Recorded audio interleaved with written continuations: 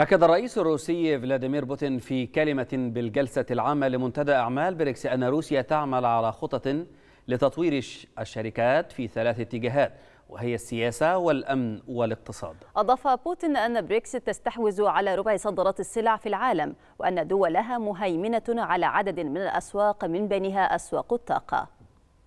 لديها ربع صادرات السلع في العالم. وهذه الدول مهيمنة في أغلب الأسواق بما في ذلك أسواق الطاقة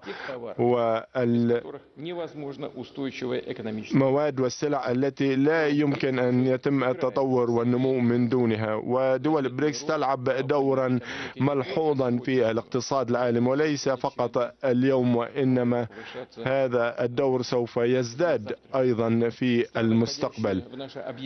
الدول المشاركة في مجموعاتنا فهي تعتبر رائدة وقاطرة في الاقتصاد العالمي وبريكس في المستقبل القريب سوف تكون الأساس في النمو العالمي للناتج الإجمالي المحلي.